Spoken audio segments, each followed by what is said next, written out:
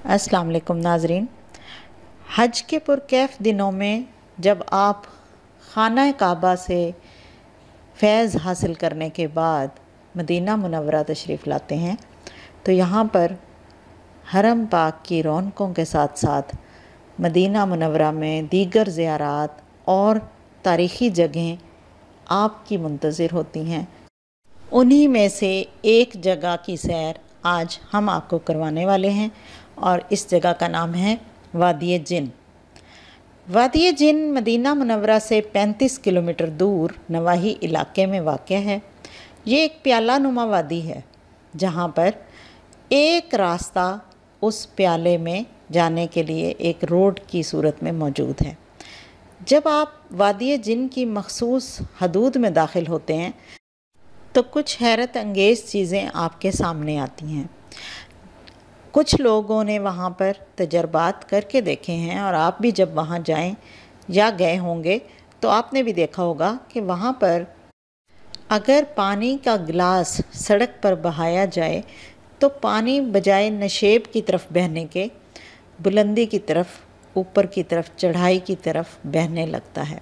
ये एक हैरत अंगेज़ बात मैंने ख़ुद वहाँ देखी और उसके अलावा दूसरी हैरत अंगेज़ बात यूँ ये देखी कि गाड़ी का इंजन बंद हो, गाड़ी का गियर भी न्यूट्रल में हो और आपकी गाड़ी सत्तर की स्पीड से, साठ की स्पीड से चलने लग जाए खुद ब खुद।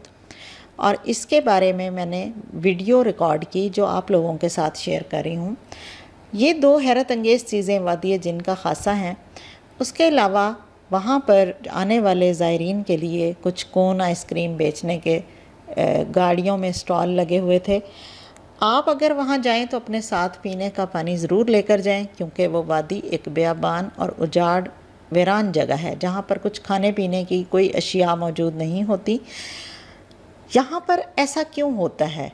जो हमने महसूस किया कि पानी का बुलंदी की तरफ़ चढ़ना और गाड़ी, बंद गाड़ी का खुद ब खुद चलना तो ये एक साइंसी रीज़न है, जो ज़मीन की कशिश और ग्रेविटी कहलाती है।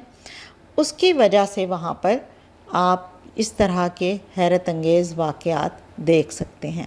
उम्मीद है आपको आज की ये वीडियो पसंद आई होगी और आप इस वीडियो को लाइक और शेयर करेंगे और एजुकेशन एंड एंटरटेनमेंट चैनल को सब्सक्राइब करेंगे। अल्लाह हाफिज़।